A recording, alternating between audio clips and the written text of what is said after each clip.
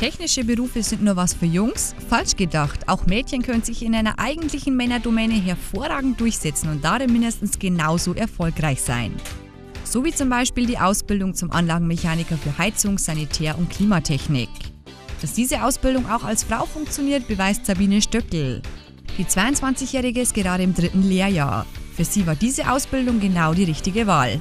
Das Schöne ist eigentlich, man ist nicht wie in Bürojobs oder in anderen Jobs, da ist man nur an einem Ort. Also man sitzt den ganzen Tag an seinem Schreibtisch vor dem Computer und das hat mir eigentlich überhaupt nicht so gefallen. Und dann habe ich mir gedacht, ja, hm, das ist das richtig Schöne an dem. Man ist immer unterwegs, man sieht viele verschiedene Orte, ist vielleicht einmal ja, ein Vierteljahr auf einer Baustelle, aber selbst dann ändert es sich wieder. Man lernt dann auch die Leute auf der Baustelle kennen, trifft es irgendwo anders wieder.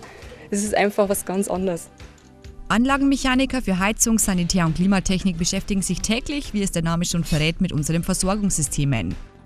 Lehrlinge können schon bald Wasserleitungen selbst verlegen oder Sanitäranlagen wie Duschen und Badewannen installieren. Zugangsvoraussetzung ist ein Hauptschulabschluss. Die Ausbildung dauert dreieinhalb Jahre. Es ist ein duales System, das bedeutet also, er ist eine bestimmte Zeit im Betrieb und auch eine bestimmte Zeit dann in der Berufsschule.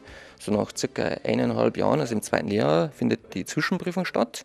Also dass man im Endeffekt so äh, sieht, wo er vom Standpunkt her wie er ist, vom, vom, vom, vom, vom Lernen und vom, vom, vom Wissen her.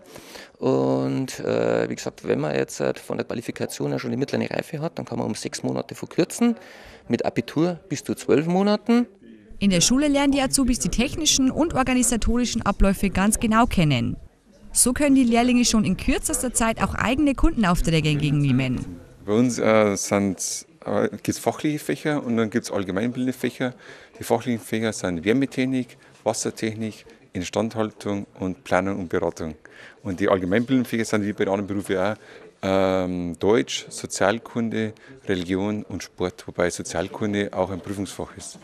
Mitbringen sollten die Azubis handwerkliches Geschick und vor allem technisches Verständnis. Man verbaut sich in dieser Sache nichts. Also wie gesagt, das ist immer was ja mein Credo, was ja zum Beispiel auch immer die Eltern sagen will, weil es wird immer so propagiert, die Kinder sollen im Endeffekt studieren. Äh, aber was hilft mir das, wenn er zum Beispiel jetzt das Abitur oder das Gymnasium abbricht, dann schlechte mittlere Reife macht? Das ist kein Grundstock jetzt im Endeffekt dann für den spätere beruflichen Werdegang, also fürs Handwerk. Anlagenmechaniker sind also gefragte Leute. Die Chancen auf dem Arbeitsmarkt stehen für die ausgelernten Azubis gut. Fachkräfte mit diesem Beruf sind von den Betrieben sehr gesucht und auf dem Arbeitsmarkt aktuell nicht in ausreichender Anzahl vorhanden. Es bieten sich in diesem technikorientierten Beruf gute Verdienst- und Weiterbildungsmöglichkeiten bis hin zur Selbstständigkeit oder auch zur Betriebsübernahme. Sabine hat schon eigene Zukunftspläne. Jetzt werde ich erst einmal noch weiter lernen in dem Beruf, besser gesagt halt weiterarbeiten, weil man lernt nie aus. In der Ausbildung lernt man einfach nicht alles. Und dann möchte ich auf jeden Fall weitermachen, zum Beispiel entweder als Techniker oder Master. Und was dann auch noch die Zukunft bringt, das werden wir sehen. Also entweder mal wirklich selbstständig werden oder weiterarbeiten, dann mal sehen.